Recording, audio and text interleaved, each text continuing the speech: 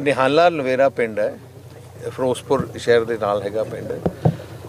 ਮੈਂ ਉਹਨਾਂ ਪਿੰਡਾਂ ਚ ਆਇਆ ਤੇ ਤੁਸੀਂ ਦੇਖੋ ਆ ਸਾਰਾ ਇਲਾਕਾ ਡੁੱਬ ਗਿਆ। ਇਹਦਾ ਇੱਕ ਵੱਡਾ ਕਾਰਨ ਹੈ ਜਿਹੜੀ ਗਲਤੀ ਪੰਜਾਬ ਸਰਕਾਰ ਨੇ ਕੀਤੀ ਹੈ ਕਿ ਜਿਹੜਾ ਹਰੀਕੇ ਦਾ ਆਪਣਾ ਬੰਨ ਲਾਇਆ ਡੈਮ ਲਾਇਆ ਹੈ ਹੈਡਵਰਕਸ ਅੱਜ ਤੱਕ ਕਿਸੇ ਵੀ ਟਾਈਮ ਜਦੋਂ ਇਹ ਬਣ ਰਿਹਾ ਸਾਰੇ ਗੇਟ ਨਹੀਂ ਖੋਲੇ ਗਏ। ਸੇਖੋ ਸਾਹਿਬ ਇਰੀਗੇਸ਼ਨ ਮਿਨਿਸਟਰ ਹੈ। ਇਹਨਾਂ ਨੇ ਕਿੰਨੇ ਸਾਲ ਇਹ ਮਹਿਕਮਾ ਚਲਾਇਆ ਹੈ। ਅੱਜ ਸਵੇਰੇ ਗੱਲ ਹੀ ਕਰ ਰਹੇ ਸੀ ਕਿ ਸਭ ਤੋਂ ਵੱਡੀ ਗਲਤੀ ਤੇ ਪਾਪ ਜਿਹੜਾ ਕੀਤਾ ਹੈ ਆਮ ਆਦਮੀ ਪਾਰਟੀ ਦੇ ਕਿਸੇ ਲੀਡਰ ਦੇ ਕਹਿਣ ਤੇ ਉਹਨਾਂ ਨੇ ਸਾਰੇ ਖੋਲ ਦਿੱਤੇ। ਉਹਦੇ ਕਰਕੇ ਇੱਕਦਮ ਸੀਚੇ ਵਾਲੇ ਨੇ ਉਹਨੇ ਕਰਾਏ। ਕਿਹਨੇ ਸੀਚੇ ਵਾਲਾ ਜੀ ਜਿਹੜਾ ਮੈਂਬਰ ਬਣਾਇਆ ਨਾ ਮੈਂ ਆਪ ਅੱਛਾ ਉਹਨਾਂ ਨੇ ਆ ਸਾਰਾ ਹੀ ਇਹਦੇ ਕਰਕੇ ਇੱਕਦਮ ਹੀ ਜੇ 13 ਗੇਟ ਸਾਰੇ ਖੋਲ ਦੋ ਤੇ 31 ਦੇ 31 31 ਤੇ 31 ਗੇਟ ਸਾਰੇ ਖੁਲਾ ਦਿੱਤੇ ਆਮ ਆਦਮੀ ਪਾਰਟੀ ਦੇ ਐਮਪੀ ਨੇ। ਜਿਹਦੇ ਕਰਕੇ ਸਾਰਾ ਹੀ ਇਲਾਕਾ ਡੁੱਬ ਗਿਆ। ਅੱਜ ਤੱਕ ਇੱਥੇ ਪਹਿਲੇ ਨਹੀਂ ਹੁੰਦਾ ਸੀ। ਆ ਇੱਕ ਖਾਸੀ ਵਾਲੀ ਵੀ ਇਹਨਾਂ ਬਣੀ ਹੈ। ਇੰਨਾ ਪਾਣੀ ਨਹੀਂ ਨਹੀਂ ਤਾਂ ਪਹਿਲੇ ਕੀ ਹੁੰਦਾ ਸੀ? ਪਹਿਲੇ ਦੋ ਗੇਟ ਖੇਡਤੇ ਤਿੰਨ ਖੇਡਤੇ ਹਿਸਾਬ ਨਾਲ ਕਰਦੇ ਸੀ ਹੌਲੀ ਹੌਲੀ ਜਿਵੇਂ ਰਿਸਦਾ ਸੀ ਪਾਣੀ। ਪਰ ਇਹ ਕਿਉਂਕਿ ਤਜਰਬਾ ਹੈ ਨਹੀਂ। ਇੱਥੇ ਜਿਹੜਾ ਜੀ ਆਉਂਦਾ ਜਿਹੜਾ ਆਉਂਦਾ ਆਪਣਾ ਆਰਡਰ ਛਾੜ ਕੇ ਚਲੇ ਜਾਂਦਾ। ਜਿਵੇਂ ਮੈਂ ਪਹਿਲੇ ਕਿਹਾ ਹੈ, ਨਲਾਇਕ ਬੰਦਿਆਂ ਨੂੰ ਜੇ ਚਾਰਜ ਦੋਗੇ, ਆਪਣੇ ਆਪ ਹੀ ਹੋਣਾ ਹੀ ਐਕਸੀਡੈਂਟ ਹੋਣੇ ਆ। ਸੇਖੋ ਸਾਹਿਬ ਤੁਹਾਨੂੰ ਬੜੇ ਵਿਸਤਾਰ ਨਾਲ ਸਮਝਾਉਣਗੇ, ਕਿਉਂਕਿ ਇਰੀਗੇਸ਼ਨ ਦਾ ਮਹਿਕ ਮਰਿਆ ਇਹਨਾਂ ਨੇ ਪੂਰੇ 10 ਸਾਲ ਪੂਰੇ ਸਭ ਤੋਂ ਵੱਡਾ ਨੁਕਸਾਨ ਇਹਦੇ 'ਚ ਇਹ ਹੋਣਾ ਹੈ ਕਿ ਜਿਹੜੀ ਜ਼ਮੀਨ ਹੈ, ਕਿਤੋਂ ਪੱਟੀ ਜਾਣੀ ਹੈ, ਕਿਤੇ ਭਲ ਸਿੱਟੀ ਜਾਣੀ ਹੈ। ਇਹ ਮੁਸੀਬਤ ਜ਼ਿਮੀਂਦਾਰਾਂ ਵਾਸਤੇ ਹੋਰ ਵੀ ਵੱਡੀ ਹੋ ਜਾਣੀ ਹੈ, ਕਿਉਂਕਿ ਪਾਣੀ ਬਰਾਬਰ ਛੱਡਤਾ। ਕਦੇ ਐ ਪਾਣੀ ਨਹੀਂ ਛੱਡੀਦਾ ਹੁੰਦਾ ਵੀ ਜਿੰਨਾ ਪਾਣੀ ਹਰੀਕੇ ਤੋਂ ਛੱਡਤਾ ਉਹਨਾਂ ਪਾਣੀ ਉੱਥੋਂ ਹਸੈਨੀ ਵਾਲੋਂ ਛੱਡਤਾ। ਪਾਣੀ ਤਾਂ ਰਫਤਾਰ ਦੇਖੋ ਅਜੇ ਨਹੀਂ ਮੱਠੀ ਹੋਈ।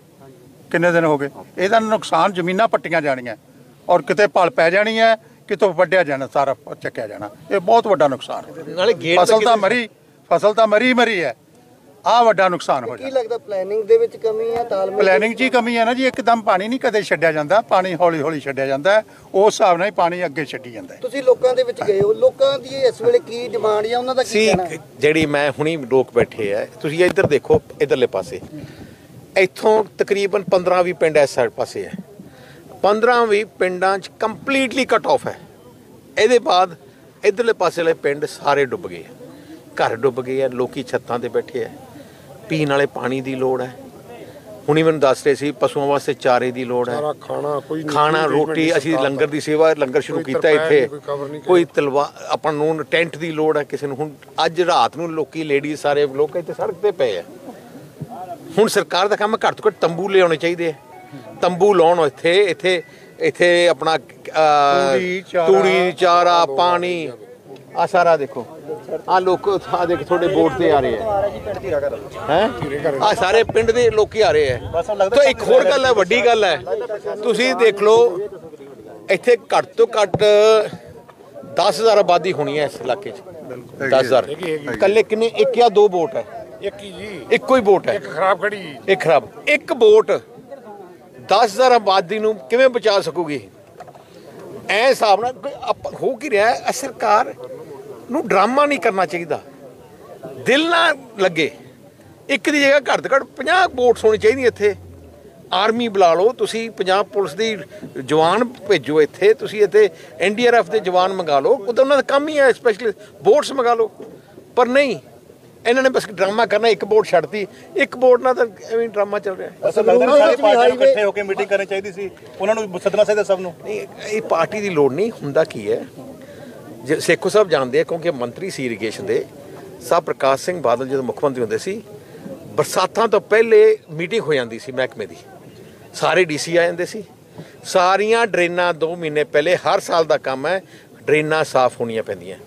ਡਰੇਨਾਂ ਸਾਫ਼ ਕਰਨੀਆਂ ਪੈਣੀਆਂ, ਬੰਨ ਪਕੜੇ ਕਰਨੇ ਆ, ਪੂਰਾ ਜਾਇਜ਼ਾ ਲੱਗ ਜਾਂਦਾ ਸੀ ਇੱਕ ਪਾਸੇ ਤੋਂ ਲੈ ਕੇ ਪੰਜਾਬ ਦਾ। 7 ਸਾਲ ਹੋ ਗਏ, ਤੁਸੀਂ ਵੀ ਜਾਣਦੇ ਹੋ, ਸਾਰਾ ਮੀਡੀਆ ਜਾਣਦਾ ਹੈ 7 ਸਾਲ ਲਗਾਤਾਰ ਇਹ ਬੰਨਾਂ ਨੂੰ ਕਿਸੇ ਨੇ ਨਹੀਂ ਕਾਂਗਰਸ ਦੇ 5 ਸਾਲ ਵੀ ਗਏ ਮੁੜ ਕੇ ਹੁਣ ਇਹ ਆ ਗਏ। ਇਹਨਾਂ ਦੇ ਜਿਹੜੀ ਜਿਹੜੀ ਇਹ ਸਰਕਾਰ ਜਿਹੜੀ ਇਹ ਸਰਕਾਰ ਨੇ ਤਾਂ ਇਸ ਸਾਲ ਮੈਂ ਬਹੁਤ ਜਗ੍ਹਾ ਜਾ ਕੇ ਆਇਆ ਸੇਮ ਨਾਲਿਆਂ ਨਹੀਂ ਸਾਫ਼ ਨਹੀਂ ਕੀਤੇ।